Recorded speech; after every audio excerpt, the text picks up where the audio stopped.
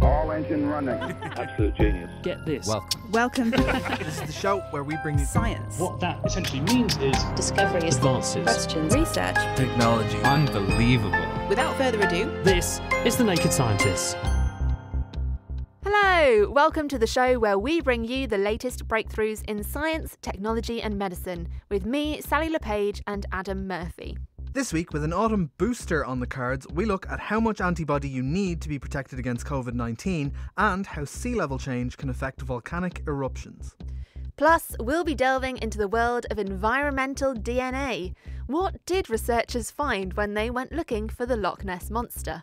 The Naked Scientists podcast is powered by ukfast.co.uk.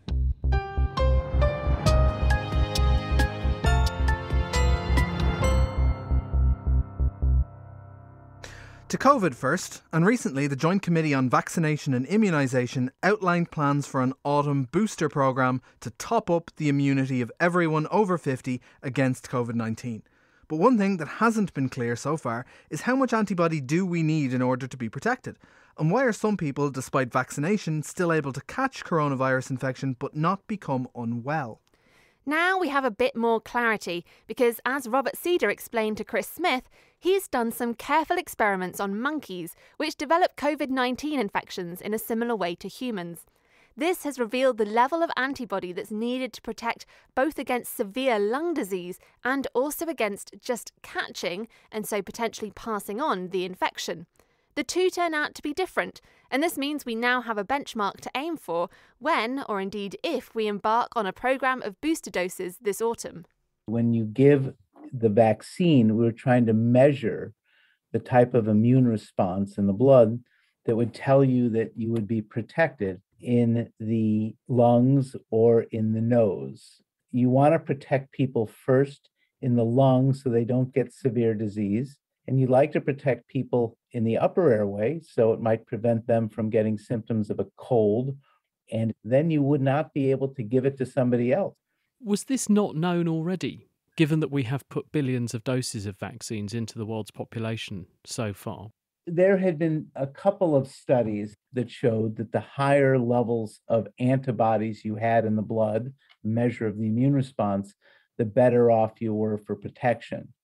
So our study in animals provided greater specificity to really define kind of uh, exactly what the level of antibody response in the blood was to mediate protection in either the lung or the nose. So, this is sort of a way of standardizing when we give someone a vaccine of some type in particular. What's the threshold level of antibody we probably need in the blood, either to protect their lungs or to protect their upper airways and therefore protect them either from just getting COVID or from transmitting the infection. That's exactly right. And the reason why, if you have a precise measurement, is it would allow you, if people had their blood measured and you were immunocompromised or you were older or had a pre existing illness, if your antibodies were below that level, it might indicate that you're at greater risk. And it might indicate that you would need another shot of the vaccine to put you above that threshold. So it can be very helpful in guiding perhaps people at greater risk or over a long period of time, whether your immune response is waning and you need a boost. Um, it also helps you with um, other vaccine approaches where if they haven't gone through the full process of a large uh, phase three study, but their their vaccine shows very high levels of those immune responses, you might be able to use the metric data to suggest that that vaccine is very likely to work, and and possibly being able to facilitate approval of, of, of another type of vaccine based on achieving that certain metric. Does it shed any light on something we're increasingly seeing, perhaps in the light of having a very high fraction of the UK population now vaccinated? Is that we seem to be seeing lots more asymptomatic infections. And people are a bit surprised because they think, well, I've been vaccinated. How am I catching this thing at all? Do your results give us some insights into how that's happening? Yeah, so the key, I think one of the key findings of the study was that we showed that less antibodies or less immune responses required to protect you from severe disease in the lower airway than what is required in the upper airway. And I think that explains why all of the vaccines are very good at preventing severe disease. And but the you're now starting to see a differentiation of vaccines for protection against mild infection or asymptomatic infection um, in the upper airway. And, and I think it would just make sense that you just need more of an immune response in the upper airway to limit infection, especially with something like the Delta variant, where there's a lot, lot more virus in the nose. And so the better vaccines that induce higher immune responses, that translates into having higher responses in the upper airway. And so that's why a vaccine could protect you from going to the hospital, but might not protect you from mild infection or transmitting it.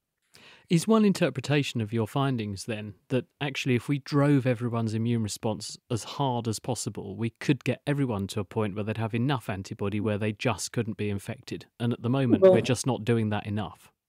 That's a very good point. And, and that is potentially the rationale for giving people another vaccination or a boost is if you could boost antibodies higher it might sustain your continued very high level protection against severe disease. Remember, all vaccines are basically 90 to 100% protective. And so if you boost, you sustain that. But if you had more antibodies, perhaps in your upper airway, might that serve to limit transmission?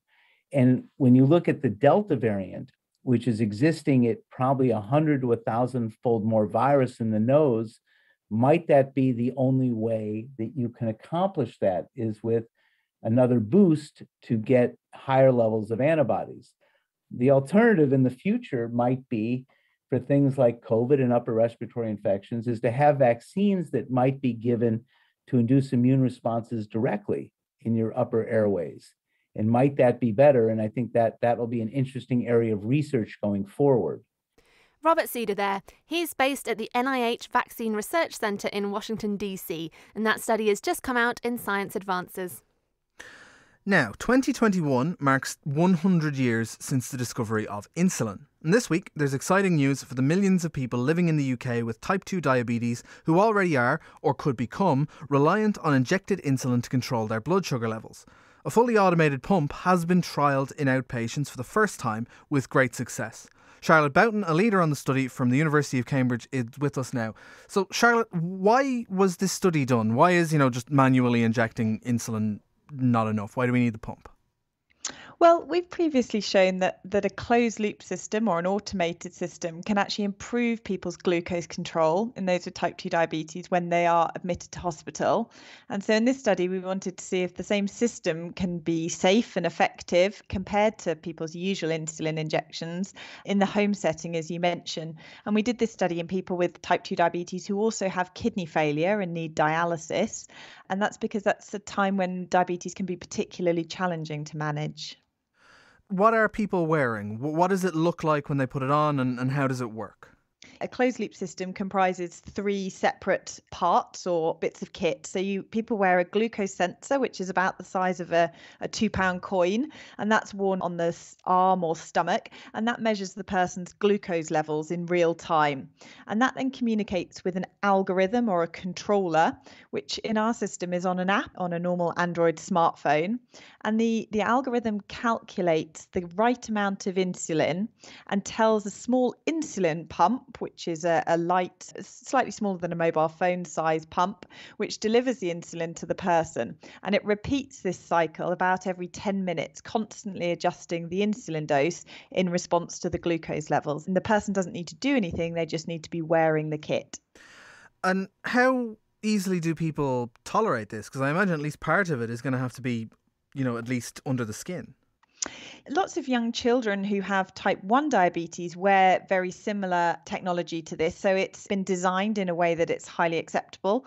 So the sensor is inserted every 10 days and it's just a tiny little wire that sits under the skin. It doesn't hurt at all. And then that sticks on with a bit of adhesive. And similar to the pump, people are used to doing insulin injections. Well, with a pump, you just need to change the needle over every three days rather than doing injections several times a day. So, so people really like wearing the device. It takes some getting used to, but um, overall they're pretty well tolerated.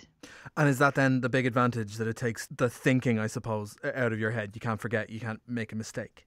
Yeah, absolutely. So in this system, it's a fully automated system. For people with type 1 diabetes, they use a slightly different system. But in this case, you can almost forget about your diabetes because you don't really need to do anything. You don't need to measure your glucose levels because that's done automatically.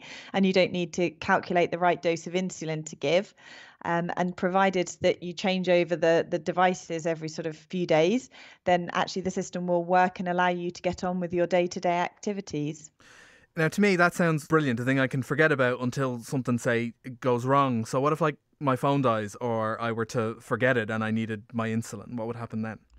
We rarely leave our phones places, but absolutely it's it's something that we have to think about when when designing these systems. So if the phone's out of Bluetooth communication or the, or the battery runs out, then the pump still gives insulin. It's just it won't give it in an automatic way. So you lose the brains behind the system, but you can still measure the glucose levels and the insulin is still given. So it's sort of a, a safety net really and it'll be effective enough until they can get their phone or recharge it. Exactly, until it's recharged, yeah. That's why it's great for the potentially great for the patient. But what about on the other side, the hospital system, the NHS? Is there benefits for them for people using this system? So our study that we've just done was quite small and too short to demonstrate any any clear benefits to the NHS. So this would need a much larger and longer study to see if that can translate into improved long-term outcomes, which may have cost savings for the NHS in this population. Okay, that, that makes sense. You mentioned earlier that there are previously pumps for type 1 diabetes and this is being developed for type 2. Why is type 2 coming later? What's different about it that makes it harder to get a grip on? It was more where the priorities later. A lot of this research started off in, in children because of the concern about the effect of high and low glucose levels in, in young children with type 1 diabetes, where they can't often communicate that they've got high or low glucose levels. And these closed loop systems are transforming management of type 1 diabetes. I think it's come later in type 2 diabetes because uh, in type 1 people don't have any insulin and so rely on insulin completely to manage their glucose whereas in type 2 diabetes we do have other treatments so diet and exercise and oral medications and other injections as well. So there are more options available what state are you in? Could you see this being rolled out more widely? So, uh, we already do have similar systems being rolled out in type 1 diabetes. And our study was a sort of early proof of concept study that this is potentially a treatment that could be rolled out more widely, particularly in a follow up study that we're doing in people with type 2 diabetes who don't have kidney failure. And that will hopefully provide evidence to support wider adoption of this technology. Brilliant. And I think it'll be very important to do that. Charlotte Boughton, thank you very much from baffling British weather, sideways spines of the vertebrae coming off here, to looking at a cheetah from the inside out, games making their way to the clinic, and what to eat in your garden. Mm. The Naked Scientists in Short podcasts bring you a top up of short, compelling science stories. Listen and download for free at nakedscientist.com/short or subscribe to Naked Specials wherever you get your podcasts. Coming up later on the show, how DNA frozen in ice thousands of years ago is helping scientists to peer into the past. Walk almost anywhere on Earth armed with a compass, and the magnetic field issuing from inside of the planet will point you in the direction of the North Pole. But what would happen if you went for a similar walk on the Moon? Does it have a magnetic field? Some claim that, at least at one point, it did. Others were doubtful. Now, Rochester University's John Tarduno has analysed samples of moon rock brought back by the Apollo missions and confirmed that the moon never did have a magnetic field. Instead, he's shown, rocks around craters can become magnetised by meteor impacts, and it's this that tripped up earlier researchers, as Chris Smith found out. Since the return of the rocks from the Apollo missions, there's been this idea that the moon once had a magnetic field, just like the Earth, but it lost its magnetic field, but it only lost the magnetic field relatively recently. That's a paradox because the moon doesn't really have a power source to drive a magnetic field. The Earth's magnetic field is created in Earth's core. The moon has a core, but the core is really small. So, how could the moon's core have created a magnetic field? That was the question that we were really after. Why did people think it did have one then? The Apollo astronauts, part of the missions, of course, were to return uh, lunar rocks. And when these rocks were analyzed in the 1970s, it was found that some of them had strong magnetizations.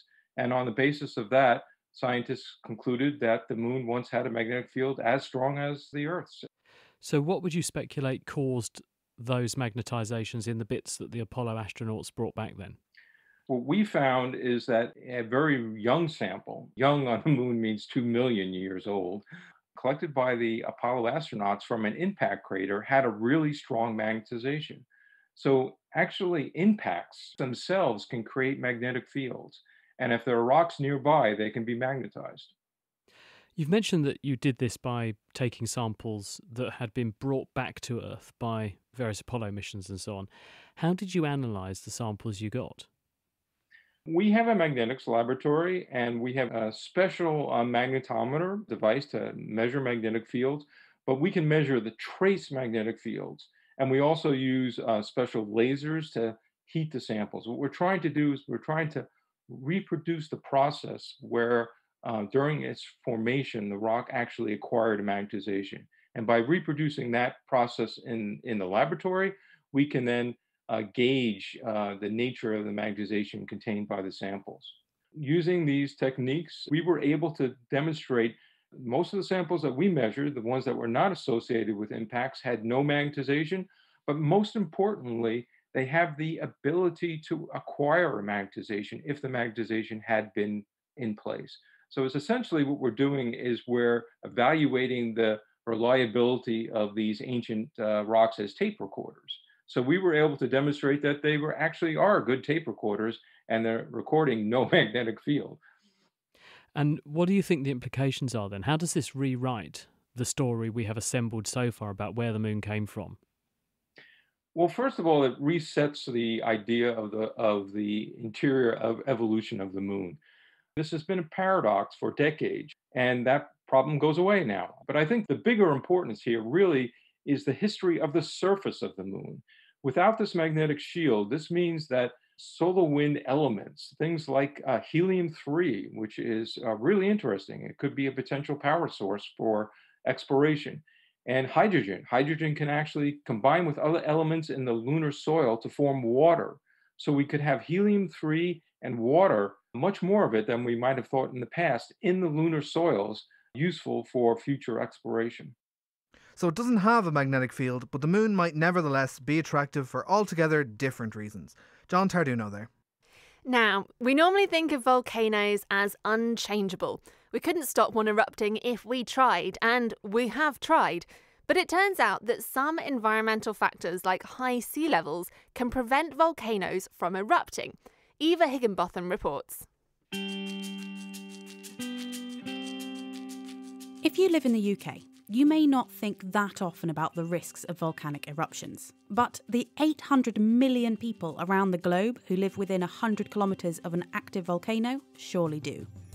Others, like geologist Chris Satow from Oxford Brookes University, just really like studying them. The question we were trying to answer was what effects does sea level change have on volcanic activity, uh, in particular at volcanic ocean islands?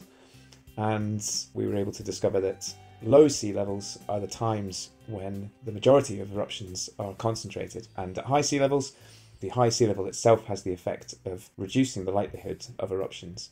And we used the volcanic island of Santorini as our case study. Scientists had previously seen that in places where there had been large ice sheets in the past covering volcanic areas, like Iceland for example, there had been a big increase in volcanic eruptions when that ice had been removed. So it got us thinking that perhaps the same effect might occur in the oceans. But of course, in the oceans, it's not ice that's being removed and added, it's water that's being removed and added as the sea level has risen and fallen over many tens and hundreds of thousands of years.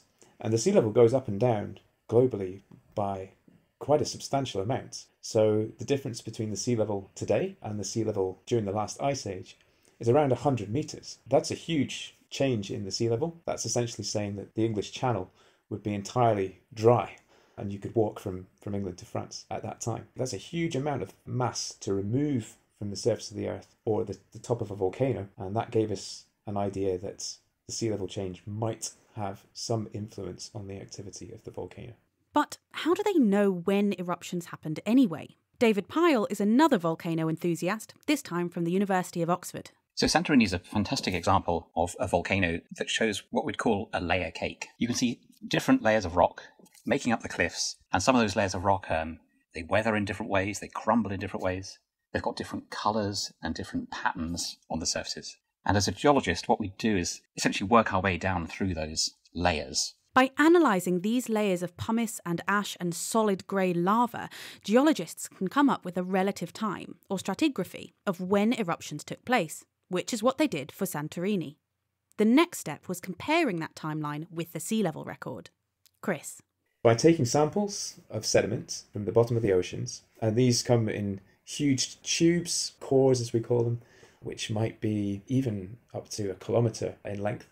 And we know that the, the mud that's higher up in that core is very young, and the further down you go, the further back you go in time. And if you can process the mud, if you can split it up into its constituent parts, you start to find fossils. And the most useful fossils for us to work out what the sea level was are fossils of these creatures called foraminifera, or forams if you're on first name terms with them. Forams are these microscopic sea creatures who live almost everywhere on Earth, and they produce these shelves using the materials from the seawater they live in, including oxygen.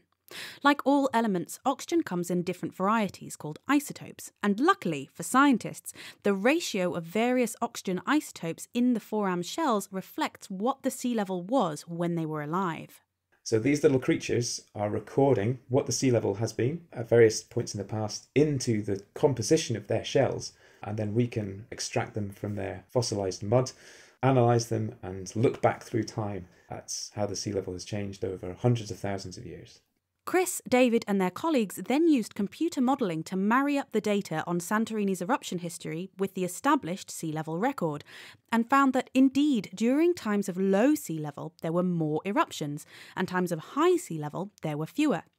So, does this mean, contrary to what we normally think, that having high sea levels, like we do now, is kind of a good thing?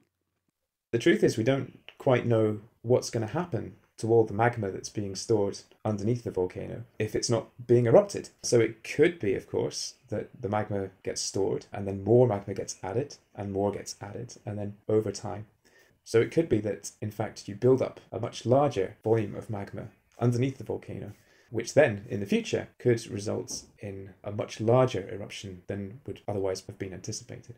Interestingly, though, because the sea level rises all over the world at the same time, does this suggest that, in some ways, all the underwater volcanoes around the world are sort of linked? David Pyle again. If you allow the system to persist for long enough, then indeed you'd expect that volcanoes would come into sync, or there'd be some sort of synchronization or synchronicity between volcanic systems that are physically independent, but they're all kind of responding to the same external processes. So, just as everyone around the planet is likely to be affected by the changing climate due to global warming, it seems volcanoes may be going to experience a similar phenomenon. And that was David Pyle from the University of Oxford, and before him, Chris Satow from Oxford Brookes. And their paper was just published in the journal Nature Geosciences. But first, we probably all remember learning Pythagoras' theorem in school, the triangle one. And there was always that one kid who asked, But when are we ever going to use this in real life? Well, it turns out that not only did ancient Babylonians learn about Pythagorean triangles 1,000 years before Pythagoras was even born, they also used them in real life to measure out land. An old clay tablet inscribed with symbols found lying in a museum was the clue that led researchers to this ancient form of maths, as Sally has been hearing we always knew the ancient Babylonians were aware of Pythagorean triples, but we had no idea why. We had no idea what they were doing with these objects. That's Daniel Mansfield from the University of New South Wales, Sydney, who discovered that the ancient Babylonians were using Pythagorean triples. So, what is a Pythagorean triple? Well, we all remember right angled triangles from school and calculating the length of the longest side, the hypotenuse. Because of all the square roots involved, even if two of the sides are nice whole numbers, like 5 and 6 centimetres long, the third side is usually a horribly complicated number with lots of decimal places, which, in our case, as you will have all worked out already by remembering Pythagoras' theorem, is of course the square root of 25 plus 36, otherwise known as root 61, or the rather unpleasant 7.810249. However, for a special group of right angled triangles, all the sides are lovely round numbers, for example, 3, 4, and 5. And if you make a triangle with sides that measure 3 centimetres, 4 centimetres, and 5 centimetres, it's impossible for it to be anything other than a perfect right angle and these special triangles are called Pythagorean triples. Mathematician Daniel was looking at markings written on palm sized flat discs of clay from 4,000 years ago. You know, this is about a thousand years before Pythagoras was even born. Two tablets in particular caught his eye in the museum. One, the Plimpton 322, had already been deciphered in 1945, and it was simply a long list of these Pythagorean triples much like the trigonometric tables you may have looked up in school. But the ancient Babylonians probably weren't studying for their maths GCSEs, so why did they need all these triples? That's when a small, round clay tablet drew Daniel's attention, with rectangles and measurements that he realised was a map of field boundaries. Now, thanks to this new tablet, we know they were using them to solve problems about land. In particular, they were using them to create perpendicular boundaries. Why did Babylonians need to measure out their land so accurately with such precise right angles? Let's slow it down because I want to tell you a story about land and gods and math. So, right at the beginning, Babylonian society is based on these small cities built around the local temple. And all the land around is owned by the local temple, or maybe a king or a palace. And they have surveyors, but the surveyors, unlike our surveyors, they don't measure boundaries. They're just there to tell the, the local prince or the local temple administrators how much land they've got. They can decide for themselves what they own, and they practically own everything. They don't need no surveyor to tell them where their boundaries are. Then, at about this time, this old Babylonian period, something changes. And we now see land in the hands of private individuals. And private individuals can't decide between themselves necessarily where their boundaries are. You need a surveyor to do that for you. Now we see surveyors change what they do. Instead of just saying, Oh, Prince, your land is this large, they say, Two people, here's your land, here's where your land stops, and here's where your land stops. And they start making boundaries. Now, to maintain good boundaries between neighbors, you need to have some confidence in those boundaries. And to a Babylonian, that means you get the right angles just so. In modern society, that's easy. You just use trigonometry to make the right angles. But this is a thousand years before trigonometry would have been invented. So instead, the Babylonians are using Pythagorean triples. Why should we care about old maths when we've got perfectly functioning new maths? It's so different. Their whole approach to mathematics is just unbelievably different. We tend to think of mathematics as this kind of universal language where everyone can agree on on what at least what mathematics is. And if aliens came from out of space, then we could we may not be able to communicate them in words, but we could, you know, we could share maths with them. Didn't we send maths on that golden disc out into space? Yeah, I'm afraid we may we may have um overestimated how universal that was going to be. Has anyone tried using Babylonian maths to solve modern problems? We're still trying to figure out what Babylonian maths is. This is all this is all happening very quickly. Actually, the, the original computers used a Babylonian method of performing division because it's very, very simple. I like to think there's still a place in the world for them, though, for fantastically simple calculations that, sure, aren't as accurate as what you can do now with a modern computer, but geez, they're efficient just so very efficient. So I, I, like to think there's a place in the world for those kinds of things, like in computer graphics, where speed is more important than accuracy. maybe maybe this Babylonian approach might have some kind of advantages. Daniel Mansfield there, and you can see photos of that clay tablet along with his findings in the journal Foundations of Science. Much has changed for business owners, managers, and staff recently. But with over 30 years' experience in telecommunications, award winning independent company Spitfire have the expertise to make sure you stay ahead and can keep on innovating.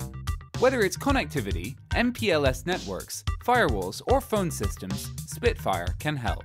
To find out more, go to spitfire.co.uk. That's spitfire.co.uk.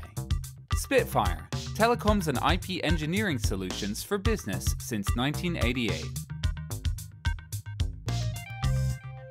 Music in the program is sponsored by Epidemic Sound, perfect music for audio and video productions. You're here with the Naked Scientists, and for the rest of the programme this week, it's over to Sally, who's been looking at ways to identify animals without even seeing them.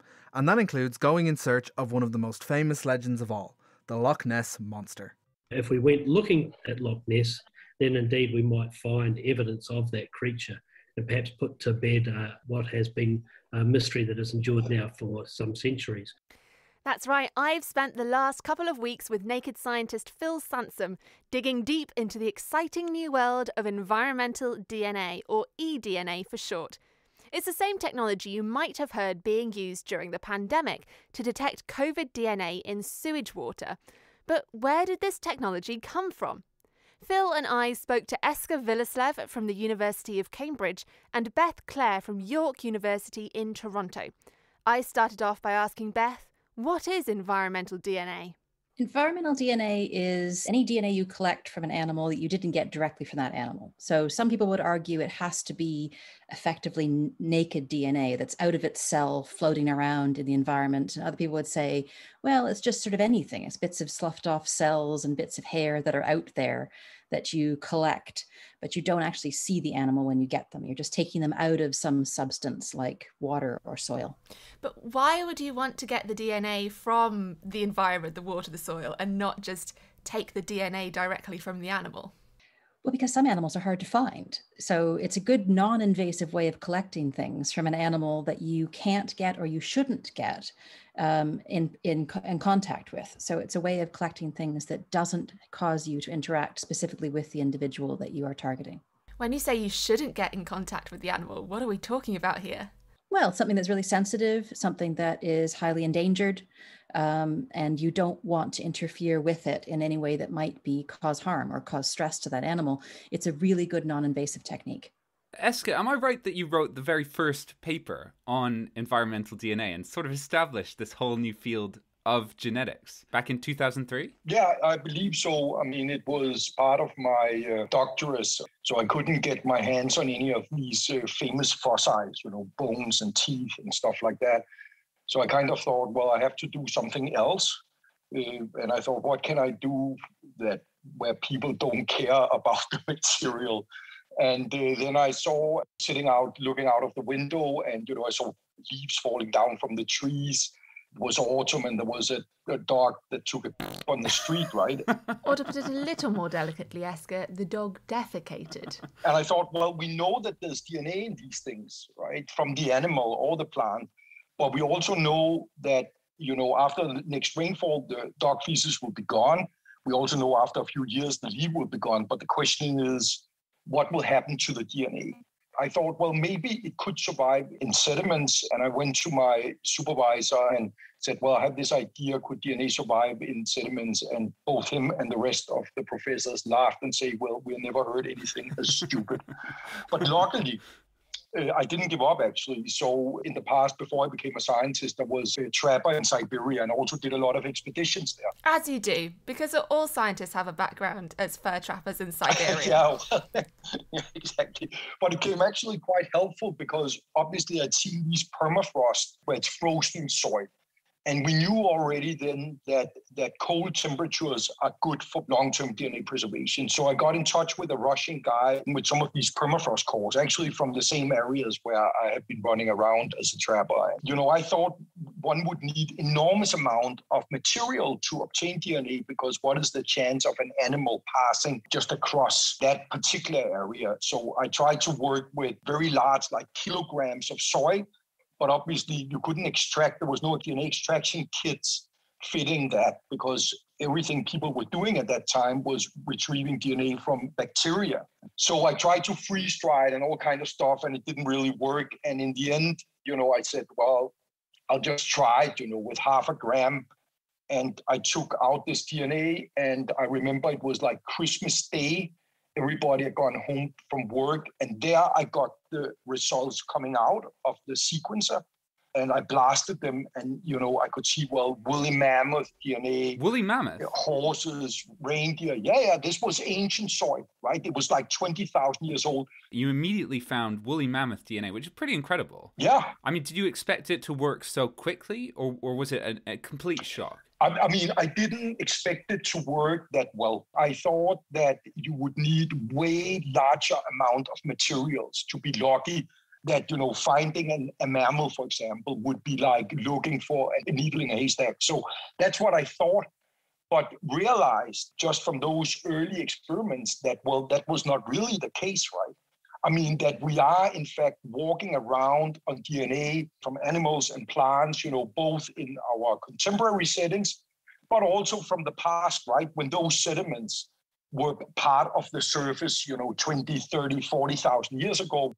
but nobody believed it for 10 years. I mean, nobody, I was almost the only one doing this stuff, you know, for the following 10 years. Uh, and I, I remember there came people to my lab and they just didn't believe it. I mean, they said, well, you know, it's not real. And until they went to the lab themselves, got a sample and tried, right? That was Eske Willerslev and Beth Clare, and we'll be hearing more from them later in the programme. Just 20 years ago, it would have taken months of work to get just one eDNA sample. Luckily, nowadays the process is so simple that even primary school kids are doing it. And I met up with Kat Bruce, founder of Nature Metrics, to discover what animals had been visiting the River Great Ouse at Over in Cambridgeshire. So we're going to collect an eDNA sample. So we're going to filter some water and that filter will be sent back to the Nature Metrics lab and we will analyse it to see what species of animal we can find from the river. This is so exciting. How do you collect eDNA? What are we going to be doing? Over the years, we've designed this really, really simple kit. The first thing we ought to do is put gloves on. And again, this is to stop us from introducing our own DNA into the river.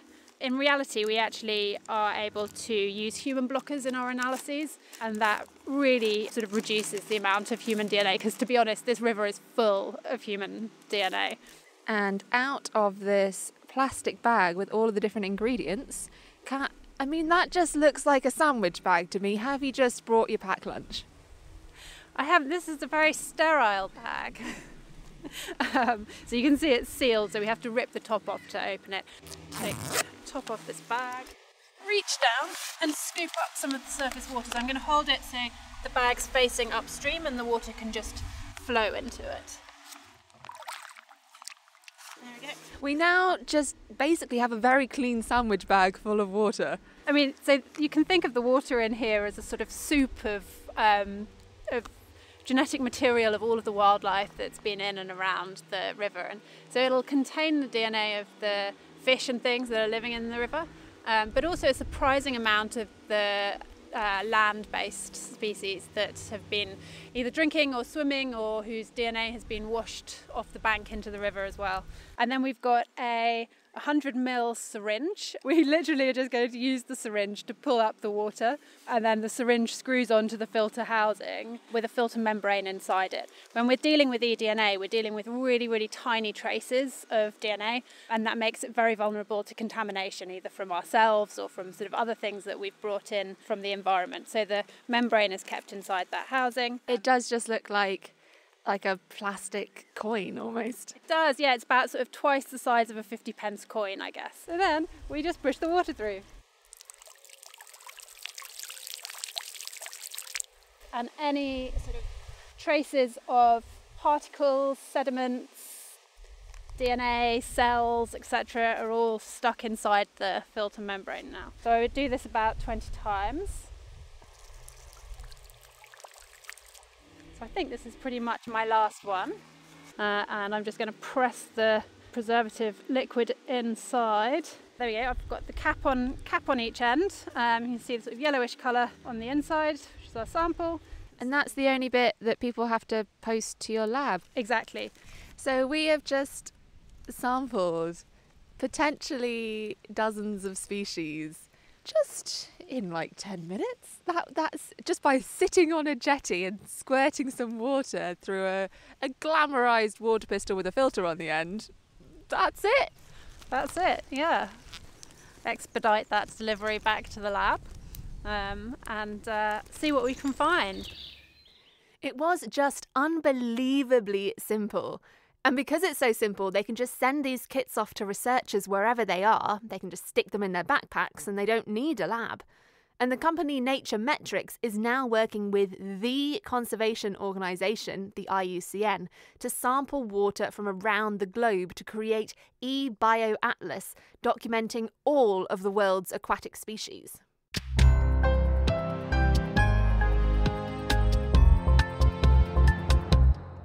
Coming up, we'll find out exactly which animals are to be found in the River Great Ouse. Phil Sansom and I have been speaking with Beth Clare, who is looking to push the field in a whole new direction by looking for eDNA in the air. So I asked her, why did you want to test the air? Well, I was I was writing a report for the government on on how we should should look at environmental sampling into the future and I was writing about all the sources of DNA, and I, I was summarizing, you know, papers like Eske's, and we should look in water, and we should look in soil, and we should look in bulk leaf litter, and in rain, and in, in snow, and I said, and in the air. And then I, like a good scientist, went to find the papers to back up all these statements, and I got to the point where I couldn't find one for air, except for some science fair students, and I tried really hard to get in touch with them, and I couldn't. And so I, I said, well, we should look in the air. And then I thought, well, okay, I'll look in the air. How do you go about looking for DNA in air? Well, we've done it a few different ways, but the the the one we actually published, we we had a, a you know it's the middle of a national lockdown. You can't go anywhere. You can't really do much experimenting. But we had to go into our naked mole rat room to take care of the animals, and they'd been there in their colonies. In the lab, or just in your house, you have a naked mole rat room now in the lab in the, in the, university lab. So we've got you know the animal care facility and we've got these naked mole rats. They live in a colony. They're really confined. They've been there for many generations. They live in these burrow systems. And we thought okay if we can get dna out of the air that'll be the place you can get it first because they've been there for a long time and the dna is building up in the environment. And a lot of people said well that's not going to work because it's you know too diluted in an air volume. And we sucked air through filters for periods of time from inside the naked mole rat colonies and then out in the room where those colonies ex- existed, but they weren't actually open. And, you know, to our real surprise, it worked on the first try. So the first filter we sucked air through produced naked mole rat DNA. It also produced human DNA, it produced dog DNA. I'm guessing you don't have dogs in your lab? No, but one of the animal facility caretakers looks after his mother's dog. And so he was tracking, we think, his mom's dog's DNA into the room with the naked mole rats, and we were sampling it in these forensically trace amounts. That is incredible. So it's almost frightening, Beth, how much you can find just from the air, the amount of information you can glean. Well, I, I think so, but we should think of this as a, a, massive opportunity. I mean, that idea that you can actually go and survey that way opens up a whole new world of how we might track biodiversity. And the, the aquatic eDNA people have led the way, showing that you can go into oceans and pick up DNA. You don't, you know, the, the volume is less of a problem than we thought. And so, what we're trying to do now is show that we can replicate that on land and that we don't have to worry too much about terrestrial mammals washing into the water in order to get them. Just go after the air they live in and see if you can find them there. And would it work outside? Out in the wild, that's the next big challenge and something that we're working on right now. It's it's it's a big challenge, but it's not an insurmountable one. And and I, I think I think we can do it. Beth Clare there. And I don't know about you all, but I was very keen to find out what animals in the River Great Ouse were revealed by our eDNA test. And one animal in particular got me very excited. Over to Kat. We've got our sample, we've popped it in the envelope, we've mailed it to your lab. What happens in the lab? It goes in the oven, which heats it up to about 56 degrees for a few hours, and that just bursts open any cells that are still intact and releases the DNA into solution. Then we need to make millions of copies of the DNA of the particular group of animals or organisms that we're wanting to survey, and that gives us enough to be able to sequence. So you're only making the copies of the animals you care about? Yes, exactly. Otherwise, if we just sequenced the DNA as it is in the sample, it would really just be dominated by bacteria and things. So once we've done that, then it goes onto the DNA sequencer. At the end, you have a, a data file which has 30 million lines of A's, T's, C's, and G's. And of course, that doesn't mean very much to, to most people. So it then goes through a computational process which sort of summarizes that information and then it runs each unique sequence against a reference library of known DNA sequences of species and that lets us put the names onto the species that we've found. And the big question is what did we find in the Great Ouse? So it takes a few weeks to analyse a sample from beginning to end for metabarcoding. So in this case, uh, I've got some results from last summer um, when I actually came down here with a group of citizen scientists. In true Blue Peter style, here's some we made earlier. Absolutely. And in total, so we did a vertebrate analysis on these samples. In total, we've got 23 species. Uh, most of these are fish, so 14 of the 23 species are fish. Things like roach, perch, quite a bit of human in there as well. It was a busy day on the paddle boards. But then, you know, even things that are much lower level, things like spined loach, this is quite an important species in this area actually. It's really hard to survey because it just sits around at the bottom of the river and is not sampled with electrofishing. That's incredible. And looking down the list, we got a whole bunch of fish. You got your dace, roach, chub, tench. But we've also got like super exciting things like water voles. They are incredibly rare now in the UK and very hard to spot. Yeah, absolutely. They're you know protected species. A lot of effort goes into trying to survey and, and confirm presence of water vole. Just looking around, like we're we're not even in a particularly quiet part of the river. There's boats going past. We've had lots of dog walkers. Sure, I can see the reeds, but I never guess that we've got water voles, that we've got all of these fish species we can't see down to the bottom of the river. And they're, they're just there, and you can tell in their DNA.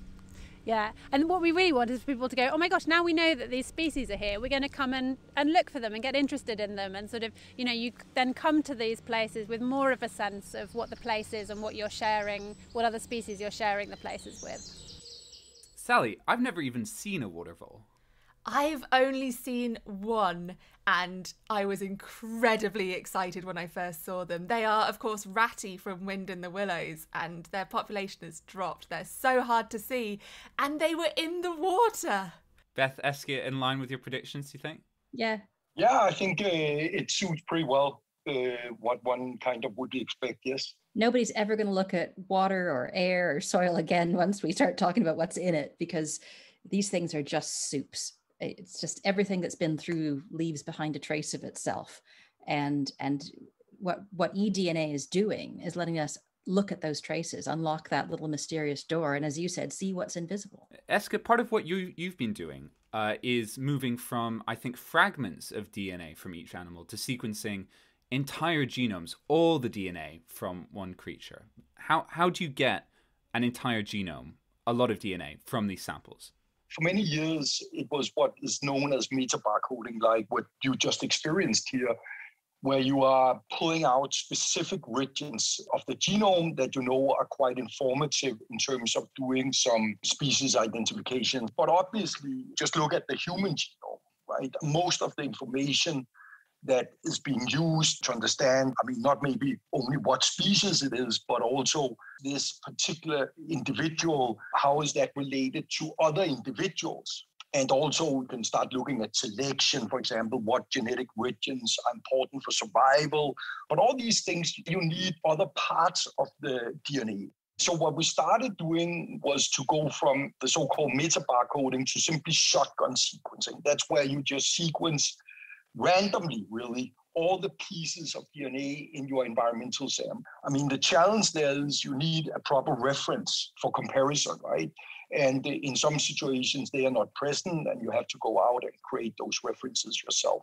But what we did this year was that we managed through these many pieces of DNA to assembling it together into genome scale sequences. And we did that for two bear species that lived 12,000 years ago. I mean, that DNA must be very old and broken apart. The pieces must be tiny. Yes. This is like the hardest jigsaw puzzle in the world. You've got these tiny, tiny pieces and you're sticking them together and you don't even know what the overall picture looks like. Exactly. How do you do it? Metaphorically, using the puzzle metaphor, you've got a picture of what you think it should look like, and you've got all these pieces, and you assemble it on the picture to try and fill in the gaps to see what's there. And it's enough to do things like population genetics to figure out the diversity of a population in an area. That's relatively easy challenge for eDNA. So you may not get the complete picture, but you get enough of it to be really, really scientifically useful for understanding how fragile a population is or how important a landscape is in terms of what is living on it. And that's where the real application of eDNA comes in is monitoring populations effectively in real time when you can't, don't have the manpower to go out and sample them by looking for the individuals. You just sample the environment they're in to learn a whole lot about who they are, where they came from, how many there are, what their diversity is, what their origins are. And we can, I think we can do that in modern day live animals that are still breathing in their environment the same way that Eske can with historical records how would this tie in with DNA from the air?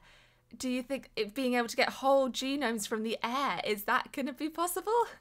Oh, I think so. There's different challenges with air. So things like UV light are probably going to be damaging DNA in a way in air that you don't have in soil, but it's not insurmountable.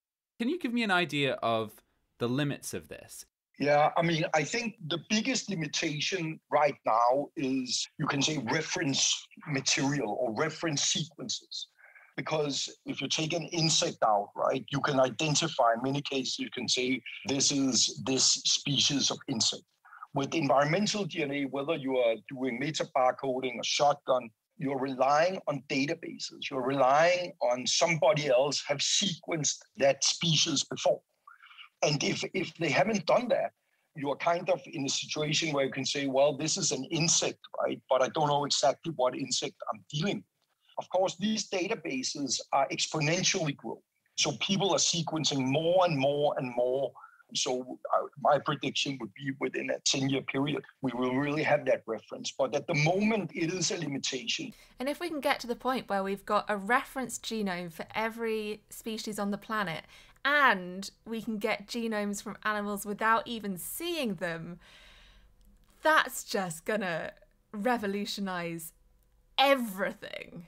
Well, it already is. You've got entire um, groups of people now using eDNA in the water, everybody from research scientists to conservation management organizations that are using that substance to help them track and monitor populations for different different applications. Well, just like what Kat's doing with the aquatic surveys around the world. Exactly. It's it's become a commercial industry, it's a research industry, it's a management and regulatory industry. All these different sectors have taken up eDNA as a way of doing their jobs more efficiently.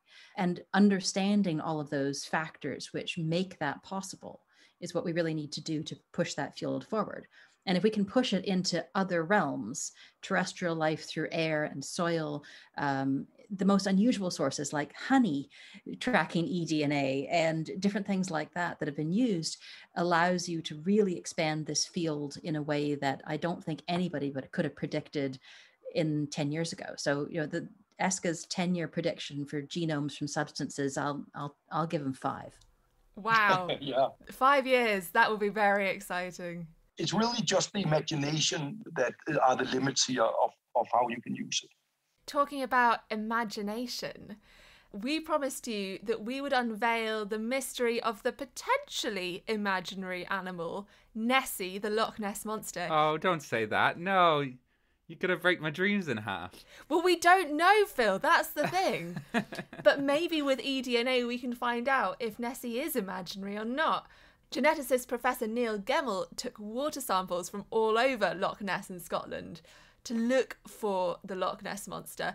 Phil, let's put you out of your misery and work out one way or the other who or what or even if is Nessie. We went to Loch Ness to prove the power of environmental DNA for studying the biodiversity of our natural world. And the sort of big hook was that, of course, if Loch Ness has a monster, environmental DNA may give us some insights into what might explain the monster and the monster myth that has been so pervasive in our recent history. But really, it was just a great way to showcase the power of environmental DNA and how we could better understand the biodiversity of places that are special like Loch Ness. And, you know, if you like, it might have found a monster. Uh, and we didn't find it. We found all the fish that we expected to find in Loch Ness, we found a whole bunch of other species that we knew were in the area. Now, total species count, and it's hard to know if these are species, but I guess the distinct DNA sequences that we could identify, there's about 3,000 of those. So, if you like, there were about 3,000 species. And most of those are tiny little things like nematodes, so roundworms, rotifers, phytoplankton, small crustaceans, those sorts of things. And then, of course, the bigger things like the fish, salmon, pike, eels, sticklebacks, those sorts of things that, that we knew were present in Loch Ness. We find all those. We went looking to test a variety of ideas that people had considered. So the plesiosaur was one, some giant catfish and other giant fish species, sturgeons, those sorts of things was another. And, and one that we actually can't put to bed at the moment is the idea there might be a very large eel or, or some eel like creature present because we do find eel sequences in Loch Ness, unsurprisingly, but whether they are a giant eel or just an ordinary European eel, I couldn't tell you. You know, people say to me, "Well, does that mean the Loch Ness monster idea is dead?" And the short answer is no. People will believe what they want to believe, and we join a very long list of projects that have gone to Loch Ness uh, with the intention of showcasing the latest technologies to see if they could find the monster, and have found actually no evidence of it. But that doesn't stop people going there. It could be a giant eel. It could be a giant eel. Who knows? yeah, Phil, there's still some hope there. The hope's alive, and I'll take it. But the, the, he was also right when he said it's those kind of stories are a really good way for us to showcase how these technologies can be used. And so, you know, what he did was real science. Just because the motivation is something that's fun and gets people's attention, he's able to demonstrate the value of what he's doing. And it looks like environmental DNA is going to be a revolutionary technology for conservationists and mythical animal enthusiasts alike. Thank you so much to River Dipper Kat Bruce, Nessie Hunter Neil Gemmell, Mammoth Tracker Eske Willerslev, and Mole Rat Sniffer Beth Clare. And now we've just got time for our question of the week. And this week, Eva Higginbotham's been going dotty trying to answer this question from listener Remay. Why do ladybugs have different numbers of spots on their backs? Now, I have always wanted to know the answer to this. Back in the playground, everyone said it was about which branch of a tree the ladybird was born on, which I must admit I totally believed for a really long time. But to get the real answer to this question, I enlisted the help of ladybird enthusiast Helen Roy from the UK Centre for Ecology and Hydrology. Some insects are spotty, some striped, and some simply quite blotchy or not patterned at all and it actually can take a day or two for the colours of an adult ladybird to appear after it first emerges from the cosy confines of its pupa. It's really fascinating to watch this happen, and I can remember as a six year old seeing some bright yellow and translucent ladybirds on the vegetable patch, and within hours the red colour and seven black spots began to appear. These were seven spot ladybirds, and they would have exactly seven spots throughout their adult life. Ladybirds do not get more spots as they age, but interestingly, the spot number of some species can vary a lot. So the two spot ladybird can have two or four or six spots. So, largely, it comes down to what species of ladybird you're actually looking at. And kind of like our eye colour, whatever you have once the pigment has come in is what you are set with for life. But why do they have these colourful patterns in the first place? The bright colours and contrasting patterns of some ladybirds are called warning colours the ladybird is giving a clear message to other species that might be tempted to eat them that they taste horrible. Perhaps you might be thinking, but why don't all ladybirds look the same and so give the same warning message that predators could learn just one message? It's most likely that it is the contrasting colours that are important, and whether it's black on yellow or red on black or two spots or 24 spots, it really doesn't matter. But also, different colour patterns can provide benefits beyond warning predators. Ladybirds with bigger or more spots can warm up more rapidly than those with smaller or fewer spots, And sometimes it can be beneficial for the ladybird to hide, and so the colour pattern might provide camouflage in some situations. Ladybirds are just amazing. I'll agree with that. Thanks, Helen. Next week, we're racking our brains for the answer to this question from David. How much of the brain is actual memory? What do you think? Let us know at chris at thenakedscientists.com or use the web form at thenakedscientists.com forward slash question, where you can also ask us a question too. The Naked Scientists comes to you from Cambridge University's Institute of Continuing Education and is supported by Rolls Royce. Thank you for listening, and until next time, goodbye.